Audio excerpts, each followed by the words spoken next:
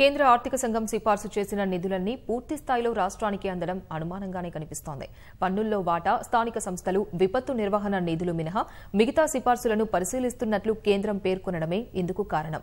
Machine Bhagiratha నిర్వహణకు సిఫార్సు చేసిన రెండు వేల మూడు వందల యాభై సహా ఐదు వేల మూడు వందల ఎనభై ఆరు కోట్ల రూపాయలను రాష్ట్రానికి ఇచ్చే విషయమై కేంద్రం నిర్ణయం తీసుకోవాల్సి ఉంది. రానున్న ఐదేళ్ళకు రాష్ట్రాలకు నిధుల పంపిణీ విషయమై పదిహేనవ ఆర్థిక సంఘం సిఫార్సులు చేసింది.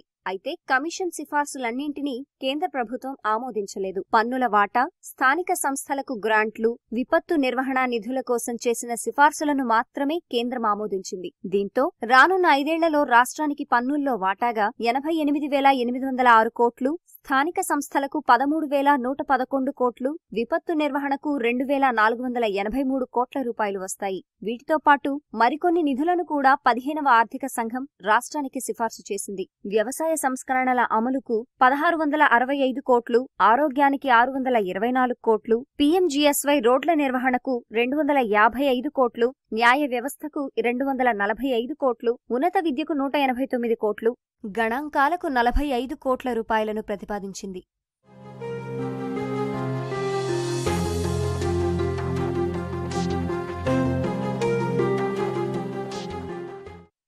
ఇక రాష్ట్రానికి ప్రత్యేక నిధులుగా మిషన్ భగీరథ నిర్వహణకు రెండు వేల ఇరవై రెండు ఇరవై మూడు నుంచి నాలుగేళ్ళ పాటు రెండు వేల మూడు వందల యాభై కోట్లు సహా అడ్మినిస్ట్రేటివ్ స్టాఫ్ కాలేజ్కి పన్నెండు కోట్ల రూపాయలను సిఫార్సు చేసింది. మొత్తంగా ఐదు వేల మూడు వందల ఎనభై ఆరు కోట్ల రూపాయలు రాష్ట్రానికి ఇవ్వాలని కమిషన్ ప్రతిపాదించింది. అయితే ఈ నిధుల విషయమై కమిషన్ సిఫార్సులను కేంద్ర ప్రభుత్వం ఆమోదించకుండా పరిశీలిస్తున్నట్లు పేర్కొంది. రెండు వేల ఇరవై ఇరవై ఒకటి బడ్జెట్ సమయంలో రాష్ట్రానికి పన్నుల్లో వాటా తగ్గుతున్నందున ఏడు వందల ఇరవై మూడు కోట్ల రూపాయలు ప్రత్యేకంగా ఇవ్వాలని పదిహేనవ ఆర్థిక సంఘం తన తాత్కాలిక నివేదికలో సిఫార్సు చేసింది. ఆ సిఫార్సును పరిశీలిస్తున్నామని కేంద్రం గత బడ్జెట్ సమయంలో చెప్పింది. కమిషన్ సిఫార్సులకు అనుగుణంగా ఏడు వందల ఇరవై మూడు కోట్లు ఇవ్వాలని రాష్ట్ర ప్రభుత్వం పలుమార్లు కోరినా ఫలితం లేకపోయింది. తాజాగా ఆర్థిక సంఘం సిఫార్సులను అన్నింటినీ ఆమోదించకుండా పరిశీలిస్తున్నామన్న కేంద్రం వ్యాఖ్యల నేపథ్యంలో ఐదు వేల మూడు వందల ఎనభై ఆరు కోట్ల రూపాయలు వస్తాయా లేదా అనే సంశయం నెలకొంది.